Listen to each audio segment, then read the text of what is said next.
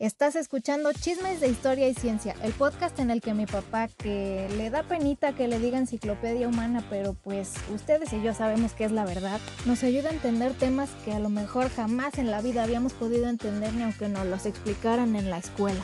Y claro, todo está contado a manera de chismecito para que ahora sí cuando nos salgan este tipo de temas en las series o en las películas, podamos decirle a nuestros amigos, yo sé de qué están hablando. Pero bueno, ya sin más introducción, vámonos al tema de hoy. ¿Qué onda? ¿Cómo están? Bienvenidos al episodio número 178 de Chismes de Historia y Ciencia. Como pues ya saben, aquí estoy con mi papá Fernando Navarro. Olis. Yo estoy aquí con mi niña, lanzándole un besito de lejos porque me dio una gripilla y no quiero contagiarla. Así mero. Buenas tardes, princesita. ¿Qué onda, papá? Te ves muy hermosa como diario. Ay, gracias, gracias. También te ves muy hermosa. Ay, ¿de veras? Júramelo. Órale. No, muy, muy formal, muy arregladito el día de hoy. Gracias, gracias. Pues bueno, hoy este, ya saben, es el último episodio de sobre Sí. los sobre espías. Ya se tuvo un episodio sobre espionaje en general y ahora estos son sobre espías. Lo tuvimos que separar así en tres porque pues nos pasó como los asesinos seriales, de que son muchos, Sí. traen mucho chisme detrás cada uno con las cosas que hizo, con lo que les pasó, con lo que lograron. Unos, la mayoría cosas buenas, digamos, ¿no? Otros, pues sí, este, sí eran del lado maligno. Sí, y, Pero no y- deja de y ser claro, no, no va a dejar, no va a dejar de haber entre algunos de ustedes van a darse cuenta que, que nos van a faltar. ah, Pero sí. o sea, no es imposible, sí se puede. Ah, pero tendrían que ser más capítulos y, y, este, estamos tratando de ser un tanto selectivos con la, con la, con los, pues que han causado mayor impacto, como dice Rubí, ya sea positivo o negativamente, ¿no? Y- pero, Y, claro, positivo y negativamente de parte de quién estás, ¿no? claro, Para Estados Unidos puede ser muy negativo, para la Unión Soviética era súper positivo y viceversa, ¿no? pues sí, justamente ahí, este, pues es relativo, ¿no? Dependiendo de qué, de qué lado estabas. Y pues bueno, entonces hoy vamos a, a empezar con nuestro primer personaje. ¿Te Directito. late? Vamos. Sí. Vamos con Eli Cohen. Eli Cohen nació en 1924. Él, él nació este, en Siria. Bueno, sus papás eran judíos sirios de Alepo. Pero él nació en. en- se fueron de, de ahí de, de Siria. Se Ajá. fueron a vivir a, a Egipto. Y él nació en Alejandría. Entonces. Él eh, desde un principio manifestó una altísima capacidad, pues para... Era muy inteligente. Y este, cuando se fundó el Estado de Israel, eh, su familia se va a vivir porque al fundarse el Estado de Israel, pues uno de los grandes enemigos era Egipto. Entonces, no es que los fueran, no es que los estuvieran a punto de matar Ajá. o algo, pero sí había restricciones y señalamientos y dijeron, ¿qué necesidad? Eran, eran Allá con- gente de, con recursos, vámonos a, Con nuestra gente. vámonos con nuestra gente y allá pues allá somos judíos y es un país y es nuestro país judío y listo. Entonces, estando allá, él empieza a trabajar eh, pues en cuestiones administrativas, pero él, él en realidad, él en realidad no mm, quería algo, pues se puede decir como de más acción, ¿verdad? Y, entonces lo, él mismo se, va hacia el Mossad recién creadito, recién creadito, estamos hablando de 1960, y recién creada Mossad, el Mossad, este, pues ofrece sus servicios y eh, le dicen, pues eh, luego te hablamos, ¿eh? no se nos olvida, luego te echamos el grito. Pero con el tiempo, muy poco tiempo por cierto, resulta que en Siria se necesitaba ingresar a alguien que penetrara hasta las profundidades de la goberna- del gobierno y, de la, y de, la, de la estructura administrativa, política de Siria. Y Y sin entonces- levantar sospechas acá, Sin ¿verdad? levantar muchas otras sospechas. Entonces, este, ah, empiezan a ver, oye, este tipo que vino, ¿eh?", pues le vuelven a hablar, oye, y ven que el tipo habla árabe, sirio, con acento, pues, con acento sirio, que habla otros tres idiomas, que hace un, hace un, ex- eh, su- un examen psicométrico y ven que perfectamente lo, lo puede, lo, lo, lo- pasa sin mayor dificultad. Entonces dijeron, no, pues este. Entonces empiezan a le dijeron, ¿sabes qué? Esta va a ser tu chamba, tienes que penetrar este, en, en Siria hasta las altas esferas, o sea, no, no, no nomás vas a ir como un espía y recabar información y, y lo que se puede, no, no, queremos que estés en las altas esferas. Obviamente, al estar en las altas esferas, pues mayor informa- información de mayor relevancia puedes captar, ¿no? Sí, exacto. sí, claro. Entonces, en 1961, eh, para iniciar, o sea, no, no pueden dar, llegando a Siria, ¿verdad? Y, eh, se, se va hacia Argentina y se empieza a conectar con la, él, él, él, eh, este, él recibe el nombre de Kamel Amin Sabet, o Shabet. Ok. Este, ese era su nombre y por allá andaba entre, entre la comunidad siria y pues presumiendo que, eh, pues que tenía mucha lana y que quería invertir, pero pues que querían pues un lugar este, pues donde tuvieran sus costumbres, ¿verdad? Porque él era, él era sirio, él era sirio y pues quería, y entonces ahí se, se hace de un buen grupo de personas inversionistas pues de- en- en Argentina y entonces le presentan a un individuo que se llamaba Amin, eh, Amin, Amin Hafez. Este, Amin Hafez era un tipo de las altísimas esferas de, de la política siria y era en ese, en ese tiempo estaba en, en alta efervescencia un partido que se llamaba el Baas o se llama el Baas, aún existe. El Baas es un partido socialista panárabe donde inclusive el mismo Gamal Abdel Nasser estuvo presente y fue iniciado en Irak. O sea, no estuvo presente, sino que simpatizaba, vamos Ah, simpatizaba con el movimiento. De hecho, en, eh, para esas épocas, Gamal Abdel Nasser había eh, convencido a, a Siria de crear un solo país que se llamaba la RAU, la República Árabe Unida, que duró cuatro años, no duró mucho, pero o sea, Egipto y... Egipto y Siria. Ah, ok. O sea, eh, porque eran los, los enemigos, uno de ellos lo sigue siendo, más feroces de, de- de Israel. Entonces, este, pero no fue por esa razón, sino porque sentían que tenían ciertas, Muchas cosas en común. muchas cosas en común, exactamente. Entonces, eh, a mi Jafés, pues invita, le, dice, le dice a, pues a, a Shabet, a, a, en ese momento, ¿no? A, eh, ¿Sabes qué? Pues eh, Ali Shabet, eh, pues vente, vente con nosotros este, a Siria a invertir. Y empieza a relacionarse, pero a la velocidad de la luz. Curiosamente, y digo curiosamente porque, pues por lo general, hemos comentado de que, de que los grandes espías son gente muy, extrover- eh, gente muy extrovertida, muy segura de sí misma.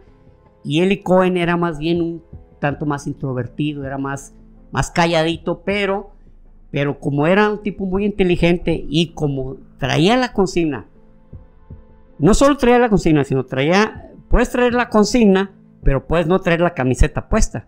Ah, pues sí, claro. Entonces él traía la camiseta bien puesta de que lo que hiciera en favor del Estado de Israel, pues le iba a ayudar a que el Estado en ese tiempo era permanecer, cabrón, o sea, sobrevivir, que el Estado sobreviva, porque apenas estaba eh, en nacimiento, eh, bueno, no nacimiento, sino que pues estaba muy, era muy, era todavía frágil, no, no había esa contundencia que actualmente manifiesta.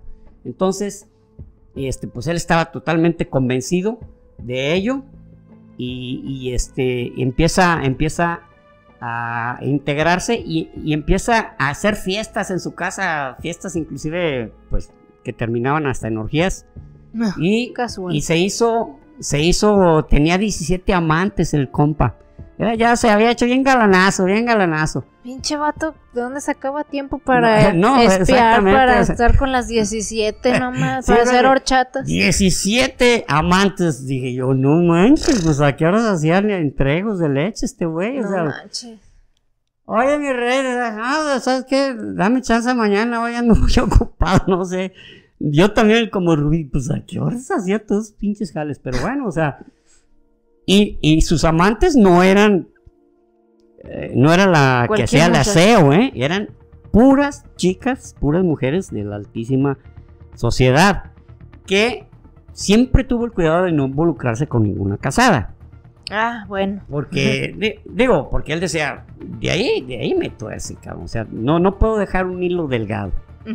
Y sí, o sea, muchas veces esas son las caídas de, de algunos gobernantes y de algunos espías, era una mujer, ¿no?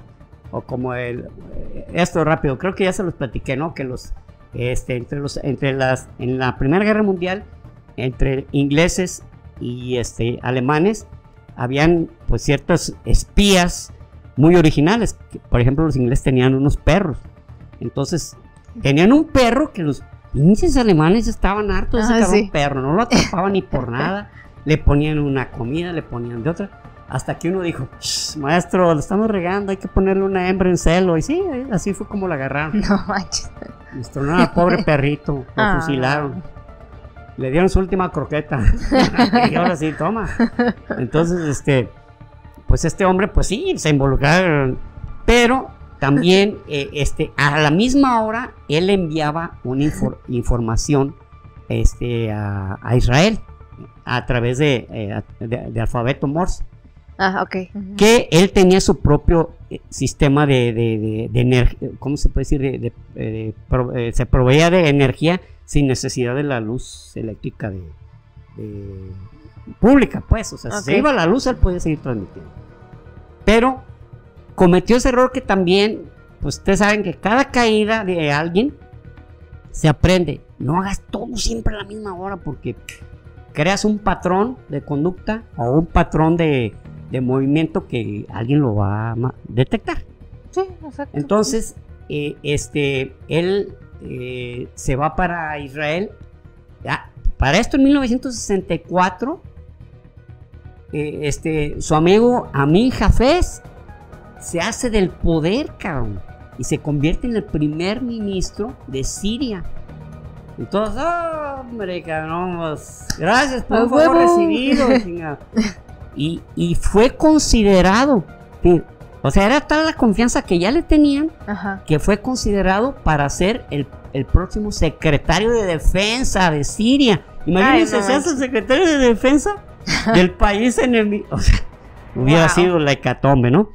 Y en 1964, él visitando los Altos del Golán, los Altos del Golán son una zona que ya se anexó desde 1967 en la Guerra de los Seis Días Israel, pero era una zona donde ya, ya se tenían guarniciones que su chamba era estar lan- lanzando bom- eh, este, bombas a Israel, cañonazos. En ese tiempo los misiles todavía no estaban, di- digamos, en un desarrollo como tal actualmente. Apenas la Unión Soviética y los Estados Unidos tenían sus sistemas de misiles. Pero, este, pues bombardear desde ahí y lanzar con morteros, lanz- etcétera, ¿no?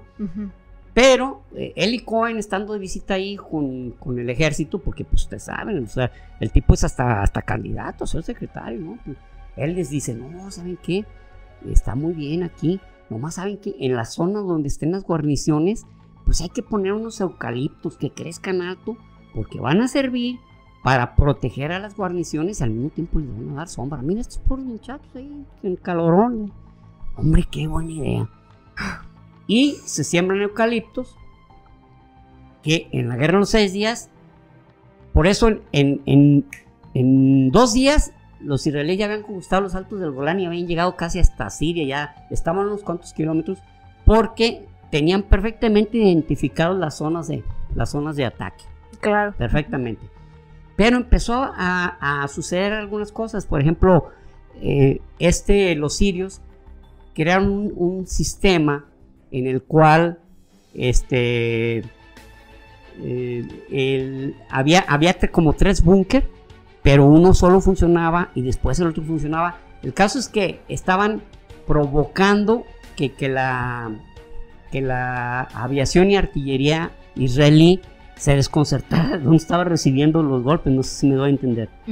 Y el les dijo, no, pues así está el, as- el asunto, o sea, están, están alternadas y están una, son tres, una y otras dos a su lado y por eso no, no se percatan ustedes a veces, ah, o sea, no, no, no es fácil percatarse porque lo tienen bajo este esquema. Entonces, los israelíes empiezan a acertar. A ver, y dije, no, oye, pues es que es que tenemos un topo, ¿verdad? En Siria. Empiezan a, sospechar. Y empiezan a sospechar de él también porque reciben una información de que cada ciertos días van unos individuos de la de, la, de esta embajada eh, norteamericana van, se estacionan, están un rato y se rean. ¿Qué, están haciendo allí o qué? ¿A qué van? ¿O cuál es su, asunto, verdad? Entonces, este, empezaron a, a sospechar de él y él les dice, él viaja a Israel y les dice, ¿saben qué? Ya sáquenme de... ¿De, la misión? De, Damasco porque ya, ya, me, ya me están... O sea, él se percató de que ya lo estaban viendo raro, lo estaban viendo así como, se me hace que este güey y ya el trato no era el mismo, ya no tenía las mismas invitaciones, ya tenía... Era, o sea, así como cuando sientes que un amigo trae algo contra ti, no te dice, cabrón. Así es, no, esto ya, ya se está enrareciendo esta cosa ya. Llegaba a su trabajo y le, y le tenía un letrero, bienvenido infiel. Bienvenido infiel. Gracias por la información suministrada, pero a otros. siento como que algo no está normal. como que sospechan. Fíjate que voy a comprar una mascota y me interesa comprar un topo. Ay, cabrón. Pues yo pienso que sí, sí, sí me están queriendo decir algo estos cuatro. Ah. Entonces, este, ya, ya le, pues ya le dicen, nomás esta, nomás métete esta vez y recábanos cierta información. Pues en esa ida 1965, este, en, julio de 1965, eh, con un sistema soviético para, para detectar señales, pero lo que hace el ejército eran señales eh, militares. Entonces, el ejército soviético dice, apaguen todas sus transmisiones, apáguenlas todas. Y pues eso estaba funcionando. Y que le llegan, mi rey, pues nos dijeron por ahí que tienes un aparatito muy bonito con el que estás llevando, enviando una información muy malita para nosotros. ¿Cómo ves? Pues sí, se lo lleva. Chingas tu madre. Y bueno, pues este, eh, lo van a, la condena pues es muerte, ahorcamiento, ¿no? Entonces, este, él, él, de pronto, bueno, él sabe que pues era la muerte, pero Israel pide que por favor no lo maten. Y, e intervino, inclusive esto me admiró, el Papa, el Papa, eh, eh, el, Papa Pablo VI, que en ese momento era el Papa, después de Juan 23, porque Juan 23 duró poco tiempo. Entonces, el mismo Papa pidió, oye, no maten a este muchacho, este, a este espía judío. no lo vayan a matar. Este, sí, está raro que abogue por él. Sí, sí, a mí también se me, se me hizo raro. Muy de, eh, de, relaciones públicas ese pedo, que sí, bien. Sobre todo porque todavía no era un momento en que había una muy buena eh, relación. Eh, en uno de los capítulos sobre el Mossad les platicamos de cómo los del Mossad se lograron involucrar cuando estaba Juan Pablo II de una manera eh, pues muy inteligente y pues que la estaban buscando. Ellos tenían 40 años buscando la manera porque el Vaticano tiene mucha información a nivel mundial que ni nos imaginamos. Entonces, hermosa le, le urgía hacerse los amigos. hacérselo sus, sus amiguis, cabrón. ¿Eh? Llegaban a pedir y, oye, ese Jesucristo, ¿cómo me cae bien? ¿Qué, ¿Qué, de buenas tendencias? O sea, ¿cómo, qué, qué, enseñanzas tiene, mano? No, no. cada vez que lo leo más lo admiro. Ah, por mí fuera lo agrego a nuestras creencias. nuestras creencias, pero ya ves, no, no, a veces como que no le hacen caso a uno. Sí, pues, hombre. ¿Qué hacemos? Digo, pero de todos modos ahí está la cuenta de la última cena, no les encargo que no la paguen, ¿no? Por favor. Entonces, este, eh, pues, pues no, de nada sirvió. Y en la plaza Marge de Damasco, que es una plaza pública, no es la más bonita, pero es una plaza como donde se llevaban a cabo ciertas acciones civil, digamos, políticas, y ahí lo, ahí es ahorcado y duró seis horas, y con unas este, especie de como man, no mantas, sino como, pues, sí, como unas Estaba como envuelto, ¿no? Pancartas, este, de, donde decían, pues todos los, todos los crímenes que, realmente eran de espionaje. Entonces, para, para, Israel es un héroe, es un héroe de... hay varias calles en varias ciudades que tienen ese nombre, Eli Cohen, y a nivel mundial se le reconoce como uno de los más mejores espías que ha tenido un, país. Órale. Y este, su hija, todavía en el 2022, estando, pues ya estaba, eh, está en el poder Bashar al-Assad, que es el hijo de, de Jafez al-Assad, eh, este, pidiendo que le entregaran los restos de su padre, pero a nadie no se los han querido regresar. los árabes saben que es algo muy sensible para los israelíes no tener el cuerpo, aunque esté muerto. Bueno, si tiene un cuerpo, pues, está muerto. Oye, tiene un cuerpo, ah, está muerta. No, tiene un cuerpo, ah, no manches, fue señorita Siria. Ah, órale. Entonces, este, así están las cosas y este es Eli Cohen. Era Eli Cohen. Eh, pero, o sea, sí lo tienen así como guardado en algún lugar. Yo pensaría que se besarían ahí de él así como que al mm, güey. Eh, no, no, no, no, es que no, no, no son todos los sirios. Ellos saben que, inclusive, eh, en 1990 y tantos, sacaron unas una, como un pequeño video de los sirios donde están eh, mostrando porque el Mossad estuvo persiguiendo y dio con el lugar donde tienen el resto. Entonces los sirios también se dieron cuenta y lo ah. mueven y filman de cuando lo cambiaron de lugar. Dicen, ¿saben qué? Nunca se lo van a hallar, ni lo Chale. Entonces, pues sí, así es. Esto es Eli, Eli Cohen, Eli Cohen que falleció pues, de 40 años, relativamente joven, ¿no? Y hay, ha, habido, eh, ha habido películas sobre, hay una que se llama El espía imposible, esta película es de los años 80, no recuerdo quién es el actor, pero hay una serie en Netflix con Sasha Baron Cohen que se llama así El espía. Y es sobre, precisamente, creo que es del 2021. 2021, algo así, 2020, 2021. Y, y Sasha Baron Cohen, que, que también es judío, este, aún en su papel de cómico, pues ahí sale como protagoniza, le, han, le, han reconocido que hizo un excelente papel protagonizando a, a Cohen. Y sí se parece. Y sí se parece, exactamente. Exactamente. Curiosón ahí que se apellido igual y se parezca. Y sea judío. Exactamente. El apellido Cohen es muy común, ¿eh? Entre los ah, judíos. Con razón. Muy bien. Este, nuestro siguiente es Larry Wu Tai. Perdón, es Tai Chin. Larry Wu Tai Chin empezó en 1944 a trabajar para cuando estaba de, presidente aún el, el, generalísimo Chiang Kai-shek, ah. cuando todavía era una república no popular. Entonces, eh, pero ya eh, el, avance de los chinos, pues estaba en, boga, pero en 1944, en plena Segunda Guerra Mundial, como los estadounidenses estaban, pues, eh, eh, su enemigo acérrimo en ese momento en el Pacífico, pues eran los, los japoneses. Entonces, el presidente, eh, y, como los japoneses tenían sometido una parte este, de, China, ah, sí, es cierto. Entonces, que, que, tenemos todo un capítulo de eso, lo vamos a platicar y porque así como hemos hablado de, algunos genocidios, este, este no fue genocidio porque está bien cabrón para que mataran a todos los chinos, pero fue una, unas matanzas horribles, sobre todo la matanza en Nanking, que fue un hecho vergonzosísimo que, la pues que Japón no ha querido reconocer. Qué raro. Qué raro, ¿verdad?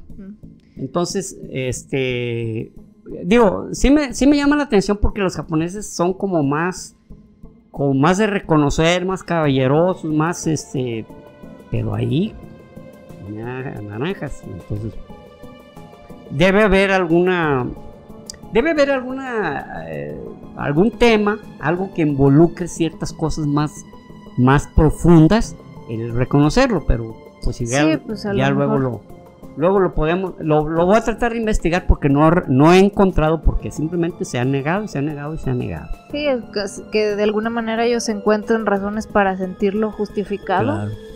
Si no justificado, como si ¿sabes que Aquí no podemos decir que, que lo fuimos, ¿no? O sea, este, si lo hacemos, que no es una razón, eh, esto es, esto es algo que, yo estoy manifestando, es una suposición mía.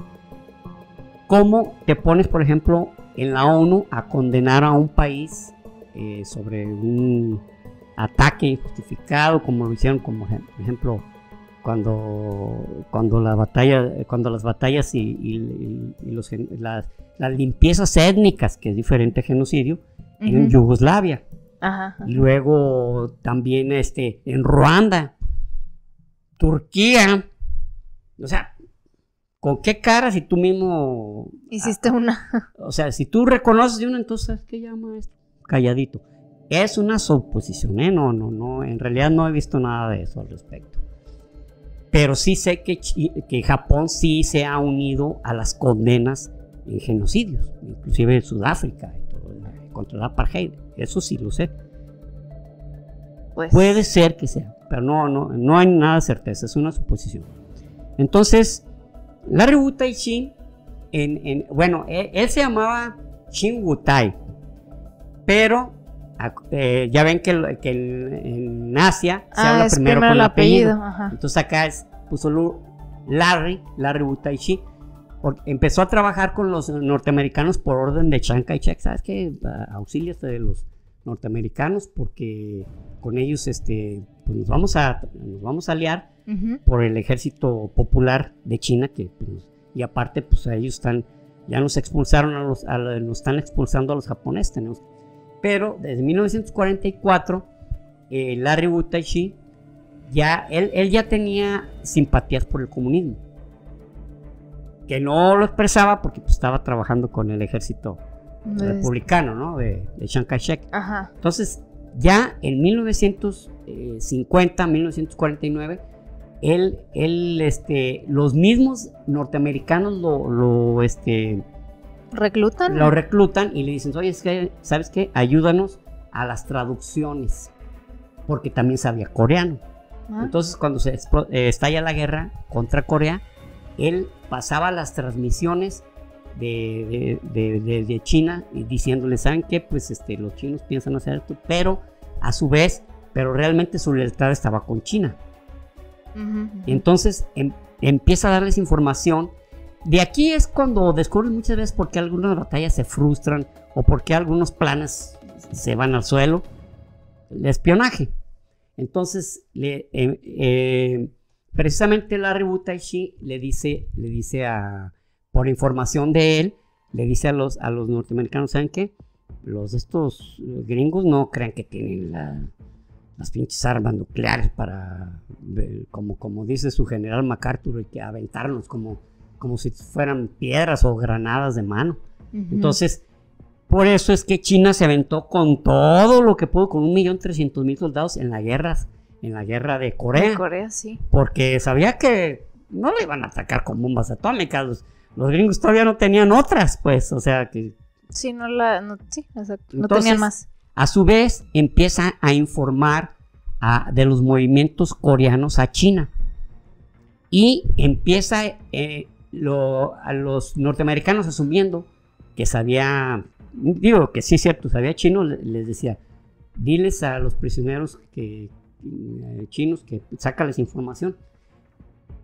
Y él se, le sacaba información, pero hagan cuenta que le, que le decían, oye, ¿sabes qué? Diles a los norteamericanos que nosotros los ayudamos, cabrón, que nosotros no, ya no queremos regresar con el ejército popular. Lo, ¿Qué te dijeron? Que están bien encabronados con ustedes, que vayan a la chingada y que ellos no quieren saber nada de ustedes y que si, si estuvieran desamarrados ya se hubieran ahorcado a dos o tres ustedes. Ay, no manches, hijos de su madre. Y ya él ya iba con los chinos y le decía, ¿sabes qué? estos prisioneros, aquí los tengo, ta, ta, ta, ta, dice que quieren este, irse con los Estados Unidos. No manches. Entonces, que eh, en los momentos que había alguna tregua, este, pues hacía el intercambio de prisioneros y resulta que los chinos tenían hasta su propia lista.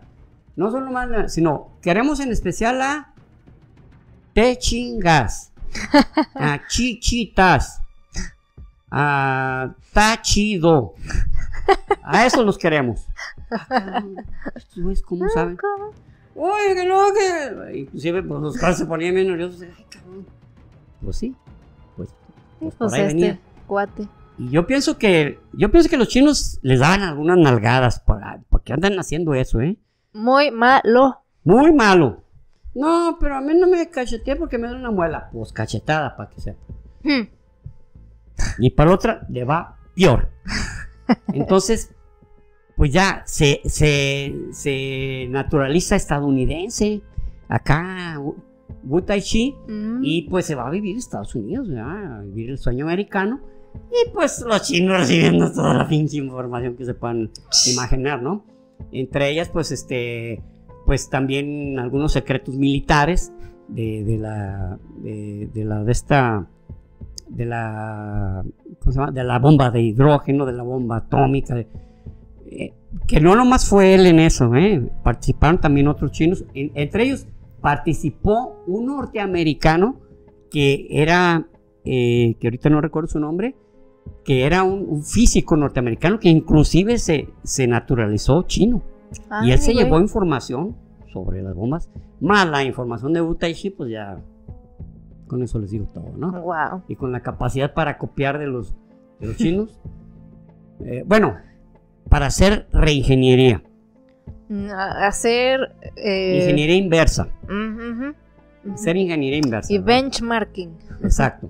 Entonces, eh, este, en los años 60, eh, eh, eh, el presidente, bueno, ya a finales de los 60, cuando ya estaba el presidente Nixon, pues él, él decía, ¿sabes qué? Nos tenemos que hacer cuates de los chinos, güey, porque pues ya vamos a perder Vietnam, ya sabían que, o sea, ya, ya eso ya estaba, ya no era decisión, ¿no? Sino que ya sabían, sino que ya era lo que estaban buscando, era una, con Henry Kissinger, una salida, una salida honrosa, pero decía, pero no podemos, o sea, realmente eh, China es, es la gran, el gran apoyo de, de tanto de Vietnam como de Norcorea. ujú. Entonces necesitamos hacernos de cuates con ellos, o sea, porque ellos, porque acababa de pasar la revolución cultural y habían muerto decenas de millones, decenas de millones. Los chinos, Mao Zedong eh, ha, ha sido uno de los peores, este, bueno, ya se llama Mao Zedong.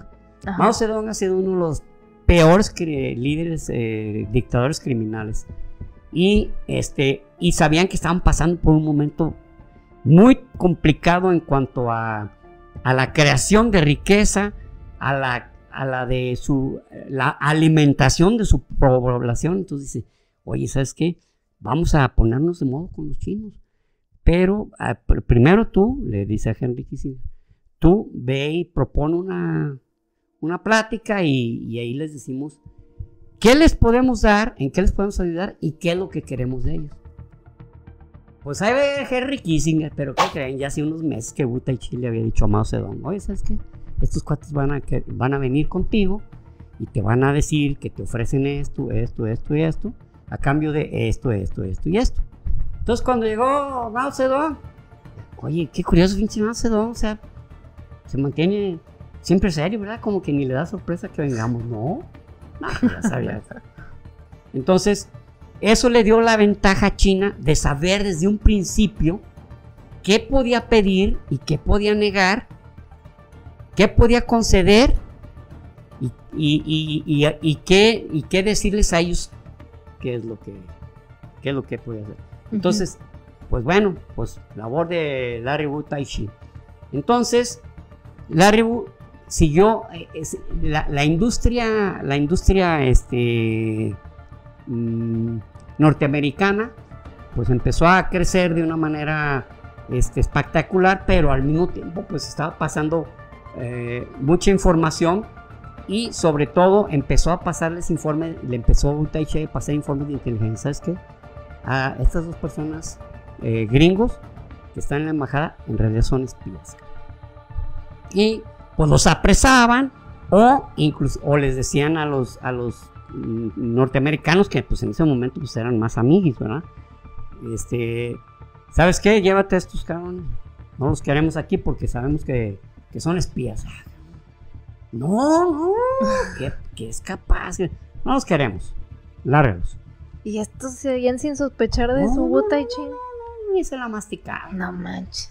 pues el tipo feliz en Estados Unidos, pero en, en 1985 eh, un tipo que se llamaba Ji Qian Sheng, Ji. Qian Sheng era un alto funcionario gubernamental y del espionaje chino.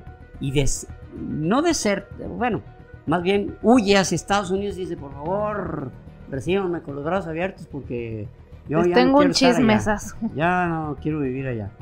Estoy harto. Estamos hartos de. Entonces es- había un programa hace muchos años que se llamaba Estamos hartos de. Y luego ya sacaban alguna cosa. Este, entonces es, eh, dice, ¿sabes qué? Ustedes tienen un topo aquí. Ah, Chichin Min. No, no, no, no, no, no, no, ni traten de adivinar. Es este Wu Tai Chi. Larry Wu Tai Chi. ¿Qué?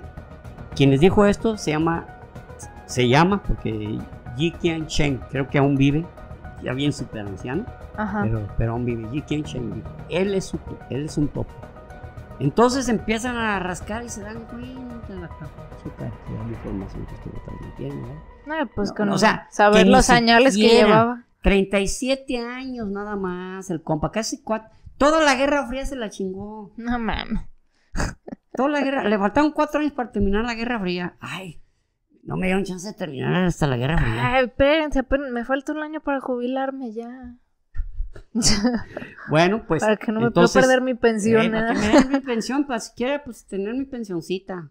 He trabajado duro. De, de hecho, ha sido uno de los espías que han ganado más. Este. No, no le estoy hablando de supermillones de. Que, que los espías más, más bien pagados han no han pasado de. Bueno, el que, el que más ganó. El que más ganó, ganó cuatro y medio millones. Que ahorita les voy a platicar quién es. Pero de más dos millones, un millón. Unos hasta menos. Pero eh, este, este Wu Tai Chi, por ahí millón y medio. Este, en, es, en esa chama, porque pues en las otras chamas pues también ganaba. Ah, sí. Pero como espía eso es lo que le dieron. Pero en tantos años, como 40 años, un millón de dólares. Pues, pues sí. No se me hace así que digas, ay, que muchísimo. O sea, Lo- eh, yo supongo que también que porque los chinos, pues, este, pues supongo que no pagaban mu- mucho. Él estaba más casi por la lealtad. órale. Pero sí puede ser. Y, y- no, y otra cosa, es muy cierto, en cuatro décadas, un millón y medio. ¿no? Cuando Ajá. unos en tres años, ¿verdad? dos millones. y medio. Sí, Pero sí. yo, yo O sea, para el riesgo que llevas, no Sí. se me hace la gran cantidad de dinero. Pero y lo, no, lo no- valioso. no corría riesgo, o sea, estaba tan, ya tan involucrado en la política gringa y estaba tan inmerso en, en- inclusive en la sociedad política de Washington que, que ni, le- o sea, ni le preocupaba nada. Si no llega este tipo, quién sabe, hasta a lo mejor hasta su muerte se descubre, al- ni, ni a lo mejor. cabrón. Eh, entonces, este, bueno, eh, resulta que en noviembre lo, y a la hora de que le van a dictar su sentencia, que pues, por todo el daño que le habían hecho, lo visita el, el- embajador de China y le dice, ¿sabes qué? Este, si mueres y no, no dices ninguna información que comprometa la, a la República, tu, la- tu familia está garantizada su seguridad y su, y su bienestar. Entonces, pues cuando van los policías por él para llevarlo a, a la sala, a la- al juzgado para darle su sentencia, él se había, se había ahogado con una bolsa de basura. Y ahí Ah. terminó sus días, ¿verdad? Eh, Larry Wu Tai Chi, uno tal vez el, el- uno, eh, tal vez el espía, tal vez el espía por los años Ajá. más redituable que ha tenido un país Sí. este, en, en el mundo, ¿no? Está cabrón. Sí, sí, no, pues sí. Muy bien. Entonces, nos vamos con el siguiente, que es Dimitri Polyakov. Dimitri Polyakov, Dimitri Polyakov nació en 1922. En, en- bueno, él, él nació en Ucrania, en la Ucrania soviética y él fue inclusive un soldado en la, eh, que fue de- condecorado en la, en la Segunda Guerra Mundial. Él estuvo trabajando, este, aunque pues no crean que le gustaba mucho eso de las purgas de, de Stalin, pero Uno pensaría. bueno, en 1961 se, este, él estaba ya trabajando en, en Estados Unidos y tenía eh, algunas asignaciones este, de, de, parte de la Unión Soviética de recabar, de recabar información. Entonces, eh, él, él, él, lo, estaba, lo, estaba, lo estaba haciendo, pero hubo algo que, que lo hizo que en 1961 se girara o volteara hacia la CIA y les dijera, ¿saben qué? Pues yo les quiero otorgar información. Y no lo, y no le, o sea, prácticamente el dinero que le daban, se lo daban a fuerza. Él no quería dinero, él decía, no, no, yo, no lo hago por dinero. Yo lo hago porque yo veo que, que está, o sea, él, él, les decía eso, yo veo que ustedes son muy inocentes, o sea, de verdad les decía eso a los gringos, yo veo que ustedes se, tragan muchas cosas así, pero bien enteras, cabrón, y, y los soviéticos estamos al acecho, cabrón, en todo, en todo. Eso me ofendería muchísimo, como pues Estados Unidos. Sí, o sea, pero todavía que me, que me trabajas gratis por lástima y luego todavía me reiteras que estoy bien inocente, me sentiría pues como de órale. pues tal vez lo vieron como eso, como ay, pues".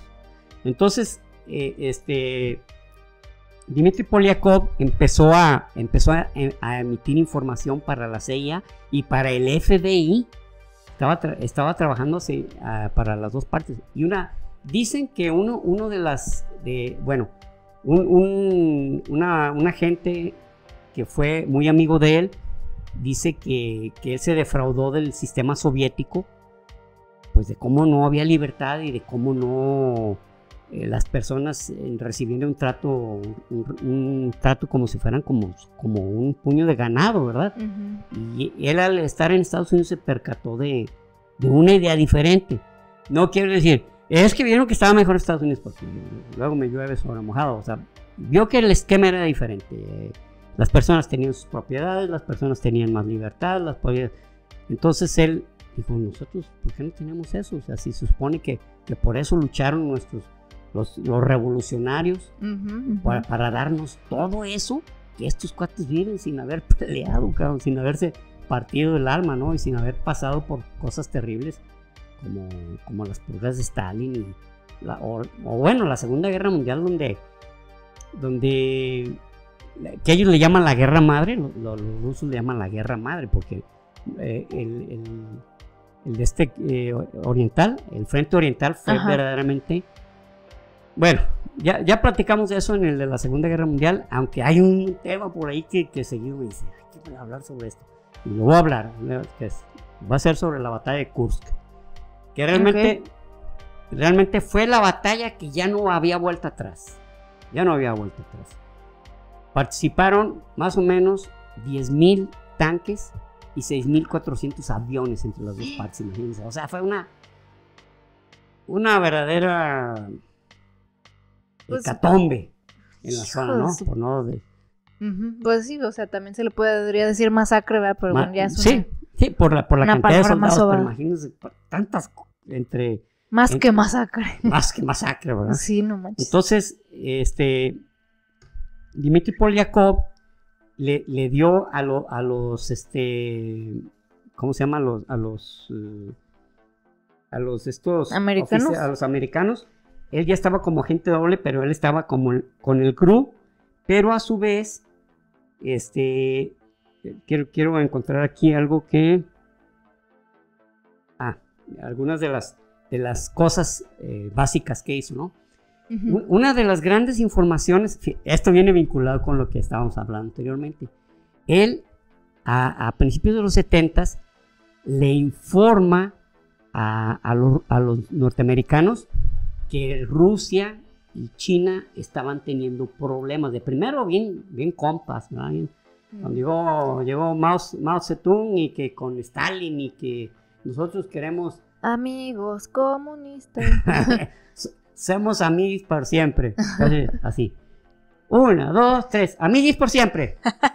Pero no, al ratito ya andaban peleándose. Y esta información también la quiso aprovechar Nixon y dijo, no, pues entonces es momento de, ir nosotros y ofrecernos. ¿verdad?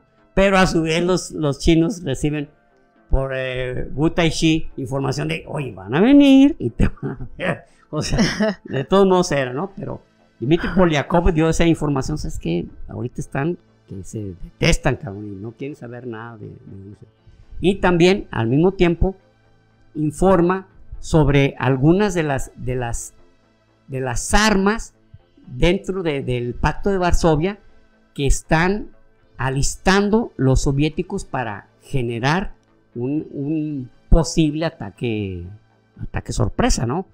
Este, o una manera de amedrentar a, la OTAN y decirle a la hora que queremos, aprovechando que en ese momento Estados Unidos estaba con un pie cojeando porque estaba terminando la, guerra de Vietnam. Entonces, eh, este, eh, Polyakov eh, una de las cosas también, ah, una de las cosas que, por las que se dice que también eh, se defraudó de la Unión Soviética es porque uno de sus hijos se enferma de poliomielitis. Estamos ah. hablando a principios de los 60 cuando sucede eso, y pide a, sus eh, altos jefes poder llevar a su, a su hijo a un hospital de Nueva York y le niegan la licencia. le niegan la licencia y su hijo muere, porque la poliomielitis este, la es como el Guillain Barré, la mitad muere, la mitad vive y la mitad que vive queda con una atrofia. Pero ya ahorita tenemos años, años que no, que no ha habido casos de poliomielitis, salvo hace tres años, que hubo dos casos en Estados Unidos, gracias a los antivacunas, que no se vacunen, que es una manera de tenernos sujetos, pero bueno, ese es otro tema que, quiero platicarlo también. Específicamente eso, el tema de las vacunas. Entonces, este, a él le, le, manda a, le mandan a hablar de la Unión Soviética, eh, pero fue porque un topo, bueno, fue porque un eh, doble espía dio la información. Este doble espía, ahorita vamos a platicar de él, este norteamericano, da su nombre y da el nombre de otros, que también ahorita vamos a hablar, ¿no? Este, que, eran, que, eran espías soviéticos, pero pasando la información a los Estados Unidos.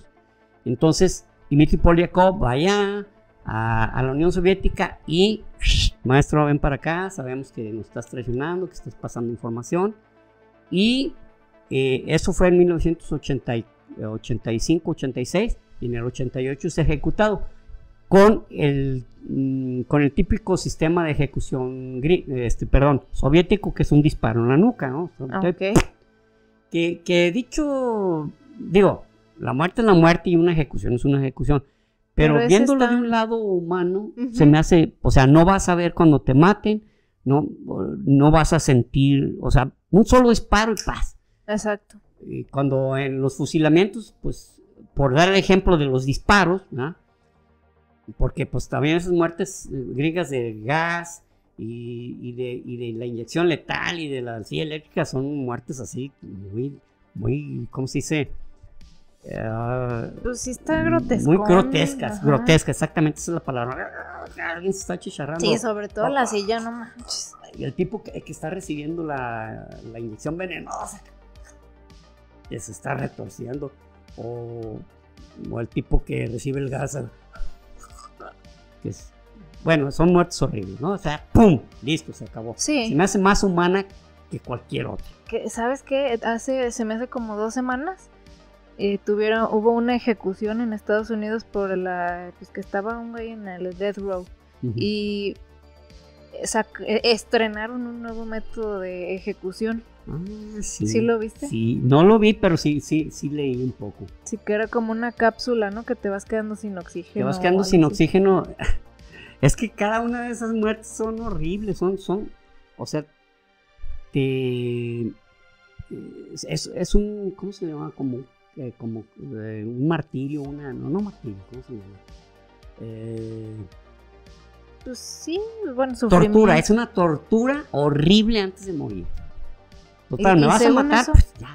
Pues sí, pero, o sea, según eso, esa la estaban promoviendo como de que era menos sufrimiento, pues, que otras. No causa dolor.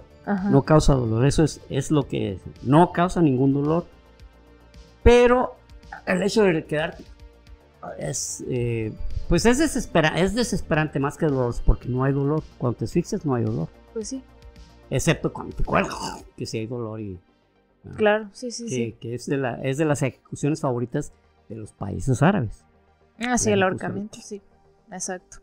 Entonces, este fue Dimitri Polyakov, Este, y que, para Estados Unidos fue un gran, un agente que les eh, generó muchísima información y que lo sentían como una... Eh, ellos decían que fue, era un tipo muy bueno, o sea que bueno en el sentido que generoso, bondadoso, pues, Porque también una cosa que no quiso hacer fue delatar compañeros. Oh, órale. no, no, yo les voy a dar información, pero no voy a delatar a nadie. y él sí fue delatado por, por un mismo, por dos, dos tipos gringos. Uno, o sea, y por dinero, cabrón. Nuestro siguiente espía es John, John Anthony Walker. John Anthony Walker o, John Walker, como se le conoce generalmente, eh, él nació en 1945 este, en Estados Unidos, él nació en Chicago. Él, fíjese que él era un delincuentillo juvenil y, lo le invitan, mira, güey, ¿te metes al ejército o te metemos a la cárcel? No, pues quiero el ejército. Y en el ejército se involucró de tal manera que estuvo, eh, digo, subió de, subió de, de rangos rápidamente, pero luego él, él le, llamaba mucho eso, que quería estar en la CIA, que quería estar en la CIA, que ándale, que le dieran Vaya. Ándale pues, ándale pues. Y total, lo meten, lo meten, este, lo meten a la, CIA, eh, a, la CIA y empieza a pensar, digo, no empieza a pensar, sino que dice, ¿quién me puede dar mucho dinero por, por lo que yo estoy sabiendo? Porque lo meten a, a una zona donde había muchísima información, o sea, no era el, el típico gomito, ¿no? Que estaba ahí, no, no, este tenía muchísima información. Entonces él dice, no, le mucha información. Y era, pues era el tipo ambicioso y entonces él decide ir con el GRU y les dice que él les puede vender información. Y este eh, les dice, y les pide un monto más o menos considerable. Y le dice, no, denme 240 mil dólares. Y yo les digo, yo les digo este, información de, de los topos que tenemos aquí. Fue uno de los que denunció precisamente a Oleg Gordievsky. Ah, ok. A, Dimitri, eh, perdón, sí, a Oleg Gordievsky, eh, perdón, a, Dimitri, Polyakov. Dimitri Polyakov y a Oleg Gordievsky, que vamos a hablar también de él, así rápidamente también. Oleg Gordievsky. Eh, a ellos dos, entonces, este, pero, y vieron que la información era correcta, entonces, pues empezó a, empezaron a suministrarle eh, dinero y él le suministraba información de todo tipo, ¿no? Ok. Entonces, Anthony Walker vendió una tarjeta, o sea, que la verdad no, no sé cómo se les ocurrió a los gringos haberle dado ese, esa especie de llave de seguro, era una clave para la comunicación, la comunicación entre, los, entre las fuerzas navales norteamericanas.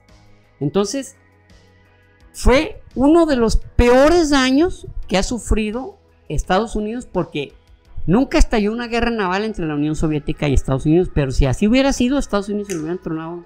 Porque gracias a esa información, los soviéticos sabían inmediatamente dónde estaba cada submarino, cada portaaviones, cada destructor, cada crucero de línea, todo.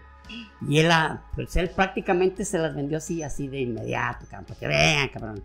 Entonces, fue un gran daño que, fue, un daño que, hasta eh, este este Kaspar Weinberger, Weinberger, que era el secretario de, defensa de, cuando Ronald Reagan dice que dijo esto es una pinche catástrofe cabrón no sé qué hubiera pasado si hubiéramos entrado en guerra con estos cabrones entonces madre.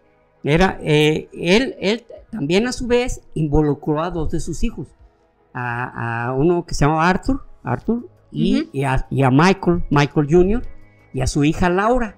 O sea, y, pero primero metió a un, eh, como a una especie, como digamos, como alumno suyo, eh, que se apellida, se apellidaba Whitney, Whitney. Okay. Ese, eh, o, o, Whitker, no estoy bien seguro, Whitker, más bien Whitker. Lo mete a ese círculo y dice, ¿sabes que tú estás en este departamento, tú me vas a dar información y vas a ver que le vas a ganar dinero. Entonces quiere involucrar a toda su familia, pero su hija Laura no, no, este, no acepta. ella está embarazada y él le dice, no, pues aborta y le das a esto. Y él le dijo, no, espérate, yo quiero, quiero tener a mi hijo, yo quiero ser mamá.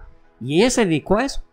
Y entonces la, la esposa, pues empezó a dar cuenta. En 1976 se divorció de ella, pero ella ya había visto que él llevaba documentos. Y, en, algunas ocasiones ella agarró el vicio, agarró el pisto porque deprimida, sola, Ah, sí. y luego con los hijos embarrados ahí, eh, metidos también con él. Y que uno de ellos, Michael Jr., trabajaba en el, en el, en el, de este, en el portaaviones Nimitz. No manches. Y, y obtuvo la información, o sea, toda la información secreta del, del Nimitz la obtuvo, se la dio el papá y el papá, pues obviamente, ah, qué bien muchacho, ¿ah? Que de hecho, de hecho, este, bueno, vamos a continuar con esto. Eh, ella, ella denuncia entre el FBI, pero no le hacían mucho este caso porque dice, no, otra vez habló la vieja borracha esa, cabrón, que, que su marido, que anda vendiendo información y chingada". Hasta que efectivamente le, un día se ponen en super peda, pero llama y casi, casi les dice, no sean pendejos, lo están. Y empiezan a, empiezan, le siguen y dan, se dan cuenta que sí, pero se dan cuenta que es un anillo, es un anillo de, de, informa- de información secreta. Lo, lo empiezan, empiezan por, eh, ah, primero les hacen prueba de polígrafo a la, a la ex esposa y a su hija Laura y ven que las dos dicen la verdad, porque ella, su hija dijo, no, no, a mí sí me invitó mi papá, pero yo no quise entrar. Entonces, pues ya, era ir sobre él.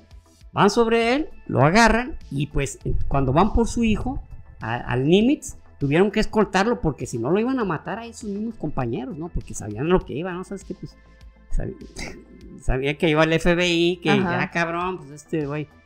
Y su hijo Michael, este, fue el que aventó más información y le, inclusive le decían, ¿sabes qué? Sus propios abogados, espérate. Pero él se sentía con mucho remordimiento, la verdad se sentía muy mal. Y el que, eh, este Whitner, pa- eh, tiene cadena perpetua. Y, y cua- como cuatro o cinco cadenas perpetuas. 360 Ay, años. Yo, Ah, yo no pienso que va a tener un chingo de cumpleaños ahí en la cárcel.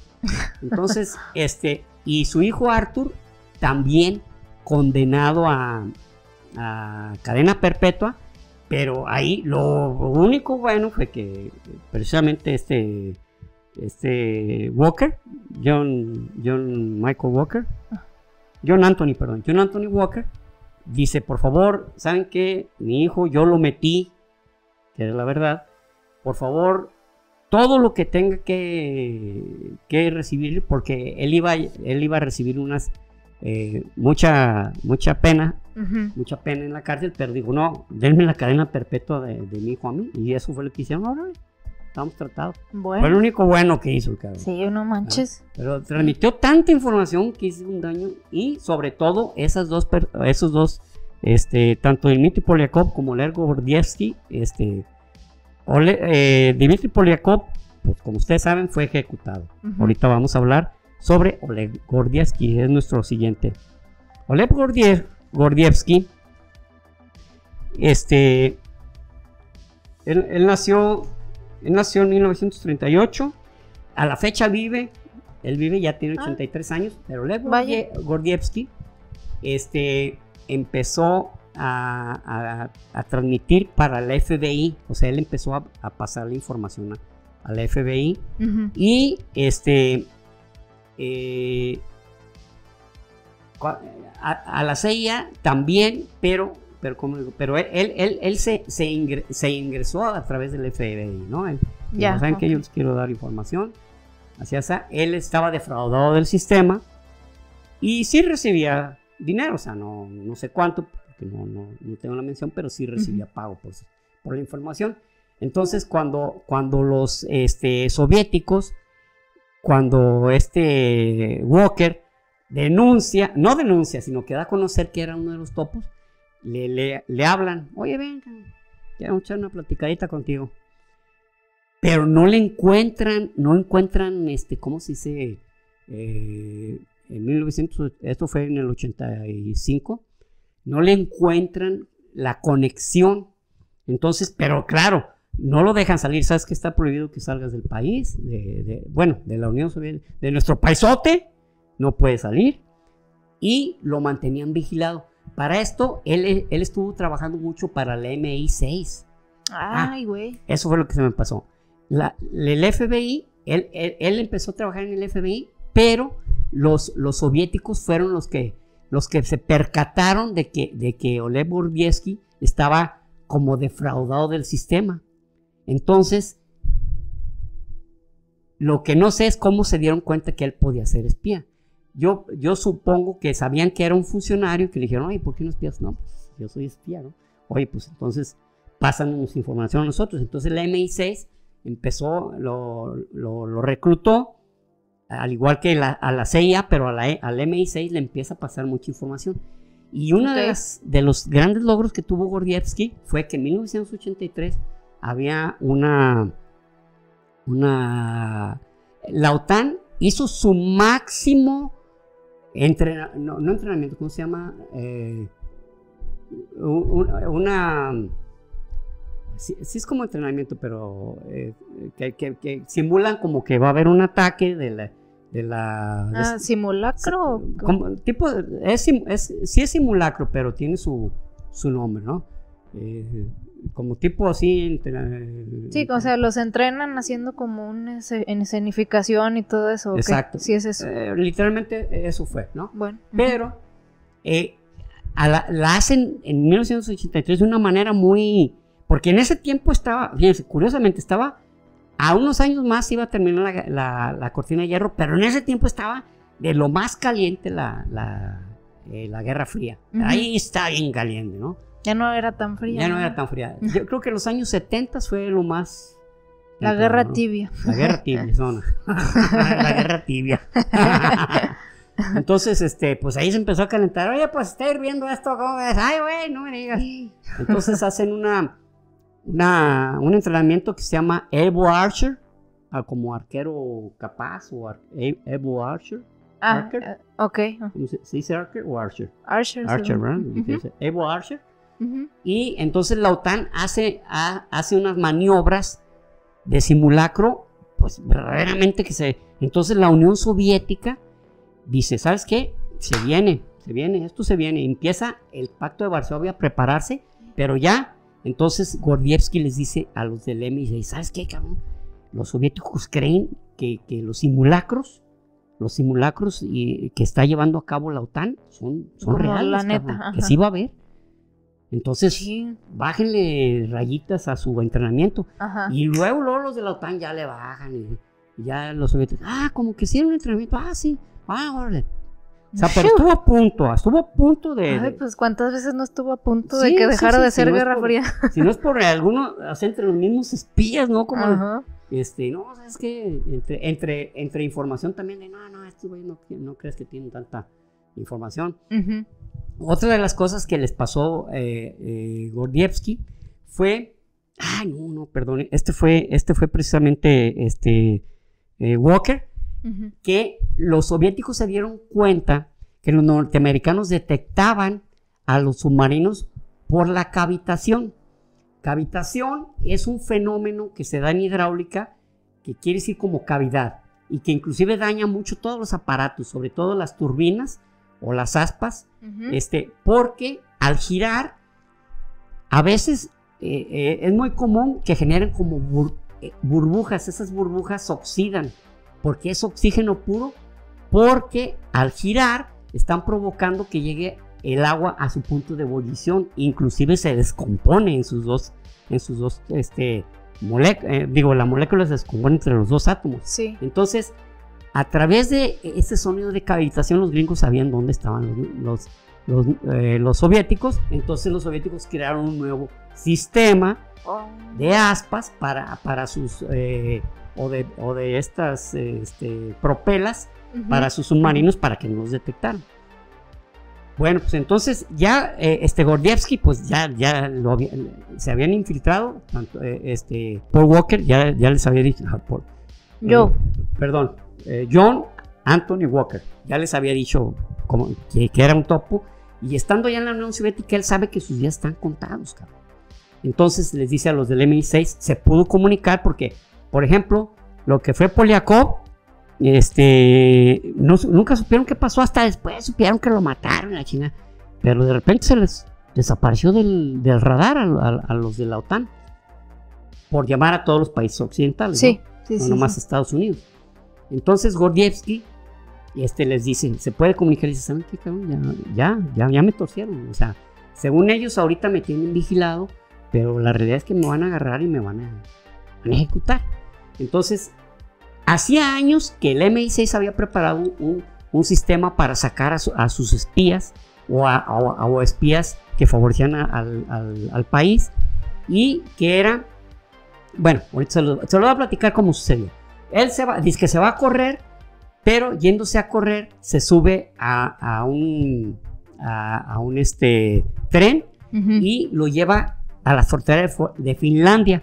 En la frontera de Finlandia se, mete eh, este, agentes del MI6, lo meten a la cajuela, pero afortunadamente, o sea, eso no iba a ser así de fácil. A ver, abre la cajuela y valió.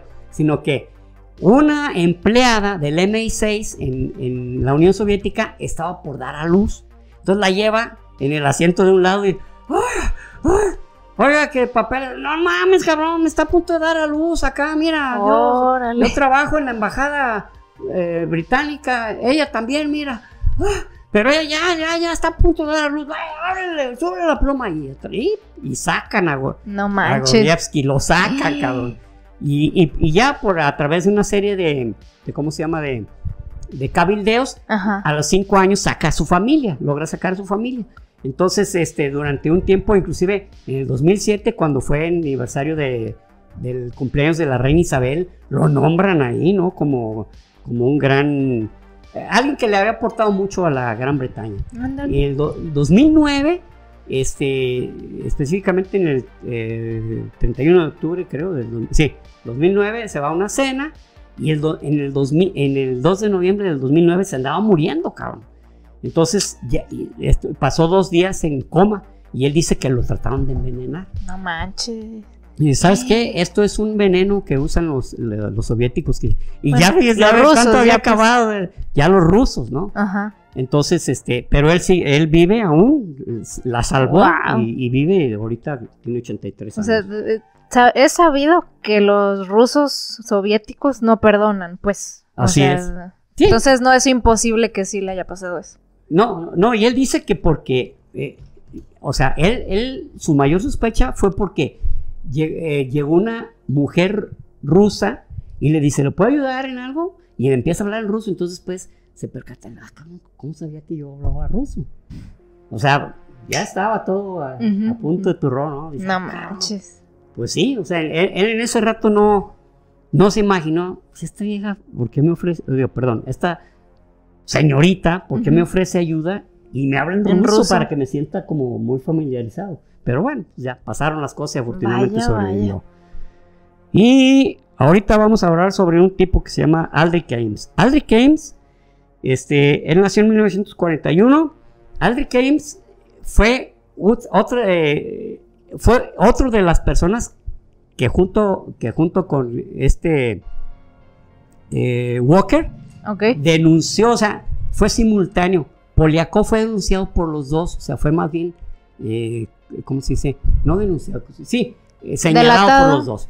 Pero eh, Aldrich James empezó, eh, él, era, él era militar, era policía, pero estuvo en la policía y empezó a trabajar en, este, en, el, la CIA y en 1960, desde 1967 se acercó a él con, con el GRU y a decirles, oigan, pues yo tengo, tengo varios secretitos que decirles, ¿cómo ven? Ah, entonces, él, en 1980, eh, él empieza ya, ya a emitir para los soviéticos.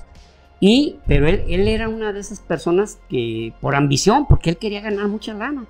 De hecho, él empezó a tener problemas financieros, fue cuando dijo, ah, ya sé, pues voy a vender, voy a vender información. Oh, sí. Y entonces, eh, él se casa con una mujer que se llama Nancy, que era su compañera en la CIA, pero él lo, en 1983 lo mandan en la embajada norteamericana, perdón, mexicana, este, la embajada norteamericana pero en la Ciudad de México.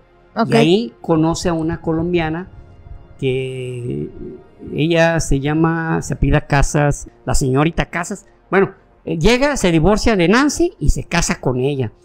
Pero resulta que esta señora pues también no nació para pobre, le gusta todo lo bueno, como dice la canción. Ujú. Entonces él, él empieza a, a- a- a dar más información más sensible y empiezan...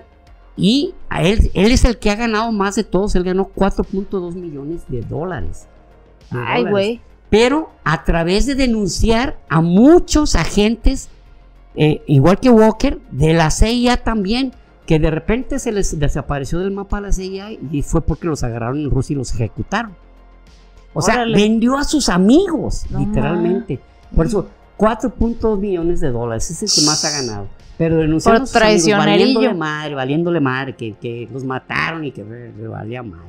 Ay, no, pinche vato. pinche vato puerco, ¿no? Entonces, este, bueno, eh, eh, a él lo descubren debido a que pues traía un carrazo con el sueldo que tenía la CIA y resulta que traía un carrazo último modelo, un Lamborghini, co- compró una casa de 400 mil dólares, este, la, no, no, y la mujer gastaba, eh, la, bueno, la, la mujer ¿La esposa? colombiana, Ujú. esposa, no, no, también compraba, y las compañeras de la CIA decían, oye, pues, ¿cómo, cómo compra? Digo, esas cortinas que ella compró, yo las estoy pagando, voy a durar tres años pagándolas, y él las, las pagó así, mira, billete tras billete. Entonces, lo empiezan a investigar por ahí, y lo, hasta que lo, lo toman. A ella le dieron cinco años y a él le dieron cadena perpetua. Y él actualmente está, está recluso 23 horas del día. 23. Nomás tiene una hora para agarrar aire o para ver el sol o lo que sea. Su madre. Y está en una prisión que se llama de alta, de, al- de alta seguridad, que se llama la ADX. Está en Virginia. Y este es una prisión, o, o en, eh, sí, creo que está en Virginia. Bueno, eh, el caso es que es una prisión de, más, a- de la más alta seguridad. Y ahí se Guau. encuentra recluso este, este puerco, porque, o sea, vender a tus compañeros por dinero, o sea, no mames. Ey, La, la neta no sé si de máxima seguridad es como lo que adecuado para él porque se me hacen como eso para violentos, ¿no? Para gente Exactamente, para violenta. gente muy O violenta. sea, él es un culero, pero no es Sí, violento. pero yo supongo que es una manera de tenerlo totalmente, porque son prisiones en las que te, te tienen totalmente aislado, son de las que tienen Sí, sí, en un aislamiento absoluto, entonces yo supongo que, es como para decirle, de aquí no te puedes escapar, ni aunque venga el ejército ruso a quererte sacar. Chingue a su Porque él inclusive todavía eh, eh, este vendió vendió secretos cuando ya se había acabado la la, ¿La Guerra Fría? la Guerra Fría. Entonces a, a Rusia. Híjole.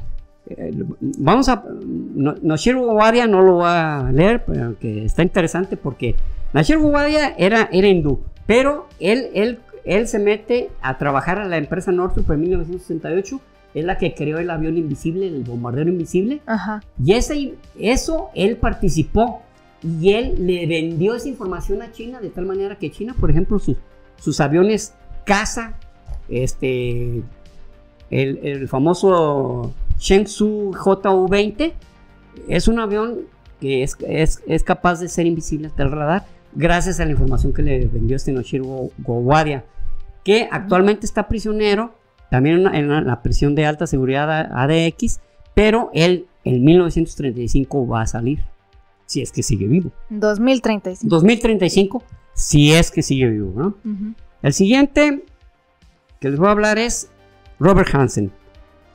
Robert Hansen nació en 1944.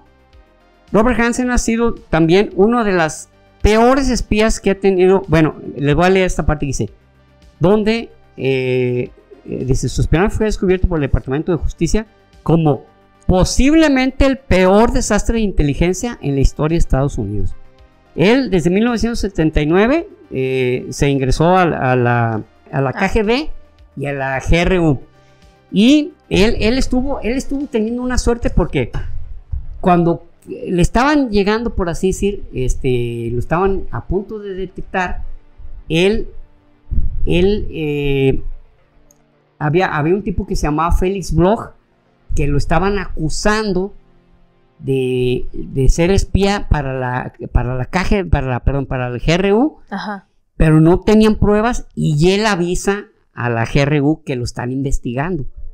Entonces, este, y, este Robert Hansen, si, se acuerdan de ese nombre, Robert Hansen también era un asesino serial. Fue el que, el que mataba ah. Mujeres que las cazaba en Alaska. Mató 30. Sí, sí, sí, igual, con razón. Que, John Douglas estuvo investigando ese caso. Él es el que Robert Hansen, también igualito. Pinche nombre ya hay que detestarlo. No hay que tener confianza en alguien. Soy Robert Hansen, te quiero vender. No, vete a la chingada. ¿Sabes qué querrás hacerme, güey? Ya sé, no. Entonces, este. Robert Hansen también, también, él, él este, informó de tanto de Gordievsky como Poliakov y a su vez denunció también agentes de la, de, la KGB dentro de la CIA y de, y de la CIA dentro de la KGB. O sea, este no, no perdonó y no recibió tanto como, como este eh, Ames, pero también le creó muchísimo daño a Estados Unidos porque muchísima de la información de, de tecnología nueva él, la, estuvo pasando, pasando a la Unión Soviética. Y todavía cuando termina la, guerra, la Guerra Fría, él, le siguió, él le siguió pasando, le siguió pasando a Rusia. ¿Dónde dices que trabajaba? O sea, ¿cómo tenías información? En la CIA, ¿o cómo? Ah, o sea, él estaba en la CIA. Él pues estaba en la CIA. Ahí, ahí tenía, Ajá, él obtenía esa información de, la, de la misma CIA, o sea, y, y este, él, él, él también eh, tuvo la suerte, te digo, de, seguir con ese... Llegó un momento que, sintió como que le estaban pisando los talones y le paró un año, pero vio que, que como dicen, ah, no... All clear. All clear. All clear. Y le siguió. Entonces, y cuando lo agarran, cuando ya se percatan de, de, que es, pues es este espía, todavía descaro de decir, Oye, ya se habían tardado. Ay, Así, de tu pinche madre. Lo, agarran, lo agarran, lo meten a prisión de, altísima seguridad, eh, cadena perpetua, pero él tenía cadena perpetua, pero falleció en, en 2023. Él falleció ah, de cáncer de colon, se cree que ah. O sea, tenía cáncer de colon y un día pues, amaneció muerto. Mejor la misma enfermedad. Sí, porque ese es muy agresivo, ¿no?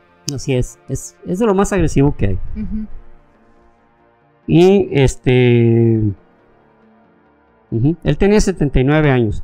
Y por último, última, Melita Norwood. Esta voy a hablar rápidamente. Melita Norwood fue una espía. E, ella estuvo en el Partido Comunista en la Gran Bretaña. Entonces, en los años 30 le invitan a trabajar para, para el GRU. Oye, y, y, ella siempre fue secretaria de la oficina en una, en una fábrica que se llamaba de metales no ferrosos. Entonces, al estar en los no metales no ferrosos, pues obviamente estuvo involucrada en tiempo en lo que era el uranio y el plutonio. Y esa información ella la estuvo pasando en la Unión Soviética. Duró años, años, años dando. Y nadie sospechaba porque era una secretaria así como muy sencillita. Pues nació, eh, ella nació en 1921. Ay, perdón, les pregunto cómo se. Ella nació en 1912. Qué curioso, otra vez 1912. Bueno, pues entonces ella, ella este, estuvo pasando esa información y lo hacía sin, no quería dinero. Ella no, no le daba nada. Ella pasaba la información que se pudiera. Ella decía, a ver, ¿para qué le sirve esto? Muchas cosas se servían, muchas cosas no tanto, pero ella estuvo pasando su información. Y fue descubierta hasta el año 2009. Eh, Ay, hasta, hasta, el año, no, perdón, en 1999, perdón, 1999 ah. La descubren y, perdón, sí, fue en, 1995 descubren como que ella participó, pero ella estaba jubilada. Entonces, dicen... Ya era una viejecita. Una viejecita. Falleció en el 2005 y, este, y fue en 1999 cuando a través de, una serie de... Una publicación de un ex espía de la GRU y de la KGB la nombra. No manches. O sea, por eso supieron que había espiado toda su pinche vida, cabrón. Y ella ya de viejita. No, ya súper bien viejita. Me la mamé. Ella, ella eh, fallece en el 2005 Y pues, ¿cómo la iban a meter a la cárcel si era una anciana? No Hay manches. una película que se llama La espía roja, creo que nació, salió en el 2018-2019, donde la intérprete es esta eh, Tench, Eh, Eh, Judy Dench. Judy. Dench, Judy Dench. Judy Dench, la que interpretó a la reina Isabel. Ajá. Y, No, ¿sí? Sí, ella interpretó la... No, no, no, perdón, la reina Victoria. Ah, A la reina Victoria cuando ya había fallecido, cuando, cuando tenía este sirviente hindú que, que ella le, le llegó a tomar mucho aprecio. Sí, Ab- Abdul, ¿no? casado, Abdul. Y ella interpretó también como al jefe, cuando, ah, al jefe de... eh, ella, ella era jefe de este, del 007. Ah, en- sí. En, la, en una película Sí, donde destruyen, donde destruyen las oficinas ahí de, Sí, con Daniel Craig, ¿no? con Daniel Craig, ajá, la, pen- la última, la penúltima o la última película donde sale Daniel Craig. Entonces, este, eh, ella es era su jefa porque muere ahí en la película, en esa película. Y pues estos son, hay más y hay mucha información acerca de los que traemos, pero pues el tiempo ya ven que es Sí. nuestro, no es nuestro enemigo, al contrario, es nuestro amigo, pero se consume, así de fácil, ¿no? Y, y este también es nuestro último capítulo sobre espías, lo cual les, les agradecemos. De los libros, pues ya una vez traje aquí un buen puño de libros donde dije, miren, estos libros es donde se puede encontrar esta información. Este, pero de todos modos Rubí se los va, se los va a proporcionar ahí. Y Sí, pues, pues, ojalá les haya gustado. Pues también, este, ah, hubo varias mujeres que hicieron espionaje, que también, pues es una, una vez mencionamos un espía israelí que vivía en el Líbano. En, en nuestros capítulos del Mossad este, mencionamos a, a esta mujer. Eh, Dimos un amplio panorama sobre, sobre su vida y cómo, cómo hacía llegar información, ¿no? Sí, pues también los de los Rosenberg, que eran una pareja. Los, Ro- los Rosenberg, pues son- muchos, Los. Rosenberg, no, en este, mira, de hecho también tenía en la lista a, a este, ¿cómo se llama? A este chavo muy, muy, que sacó una reciente, reciente información, pero no es espía, él lo hizo porque eh, lo hacía, pues lo hacía, lo hacía como porque ten- er- tenía un deber con la, con la humanidad de darles esa información. No sé, pues, pero... Ah, Juliana Sánchez. El otro. Ah, no sé. Nomás ese es, ese es el güey Bueno. que me sé.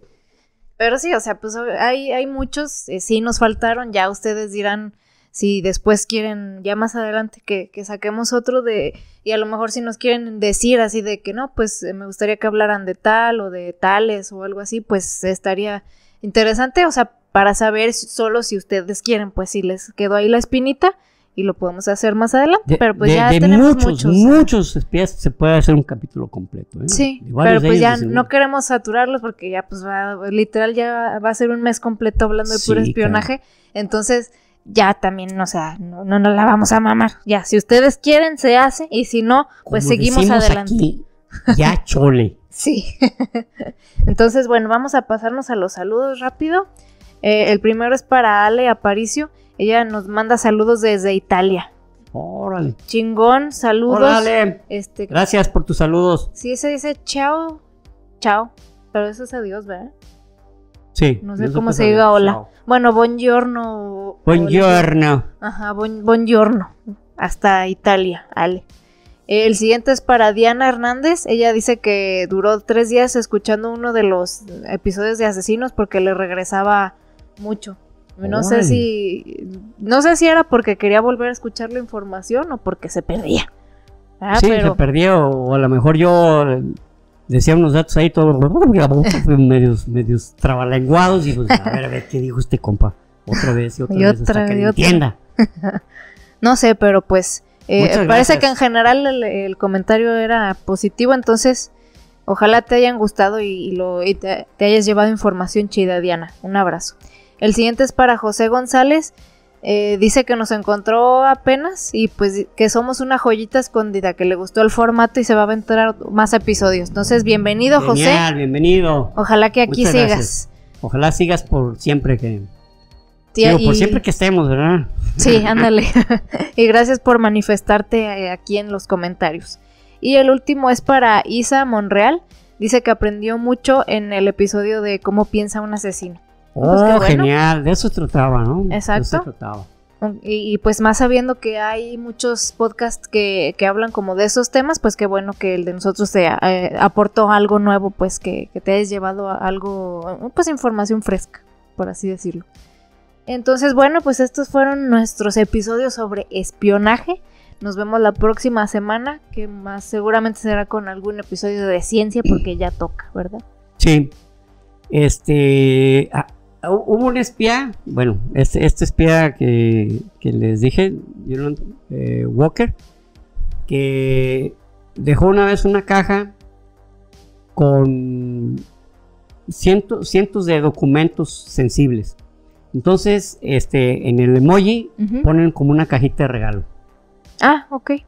Porque eso era una manera muy típica de los espías de dejar un regalito, una cajita eh, X y Ujú. señalarla de una forma indirecta Ok. dónde estaba, dónde la ponían a encontrar.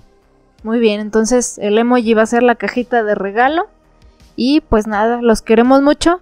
Nos vemos el Muchas próximo gracias. episodio. No se olviden de suscribirse, compartir, darle like para ayudarnos con el algoritmo, ¿sale? Nos vemos. Hasta luego. Hasta pronto. Y recuerden, prohibido dejar de aprender.